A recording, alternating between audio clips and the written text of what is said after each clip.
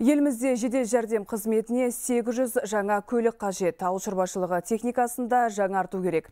Ал шалғай ауылдарда өрт сөндіру жабдықтары жетіспейді. Осы және өзге де әлеуметтік проблемаларды шешу үшін бюджеттен 94 миллиард теңге қажет. Бұл туралы 2019 жылға арналған республикалық бюджет туралы заңға үкіметтік түзетулерді талқылау кезінде айтылды. Қаржы вице-министрі Берік Шолпанқұлов енгізілген түзетулер туралы баяндады. Мысалы, асыл тұқымды мал шаруашылығын дамытуға арналған 36 миллиард теңге қолдау таппаған. Бұл мәселе депутаттардың наразылығын тудырды.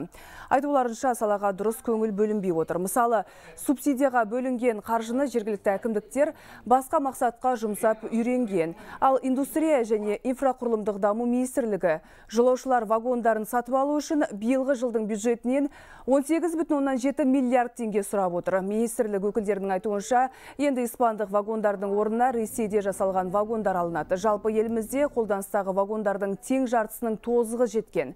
Бюджет туралы заңға үкіметтік түзетулер депутаттардың талқысынан өткеннен кейін арнайы жұмыс тобының қарауына жіберілді. контингент получателей увеличился. Атаулы әлеуметтік көмек алатындардың қатары көбейіп жатыр. Бұған дейін қабылданған өтініштер бойынша қаржы есептелген еді. Ол 9 айдың қорытындысы.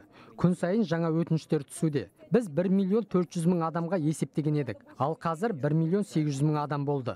біз жаңа ғана ақпарат алып жатырмыз жаңа ғана көріп жатырмыз осы құжаттарды оның барлығын реттеу үшін қаражат керек қаражат жеткіліксіз бір жаққа тартсаң екінші жақта болмай жатады. Сондықтан да біз осы қаражатты дұрыс бөлу мәселесін ә, кейбір ә, қалыптасып қалған қиын жағдайларды шешу оны бір күнде шеше алмаймыз. Оны ә, рет ретімен әрбір жылға бөліп бөліп шешу осы мәселені біз қазір қарайтын боламыз.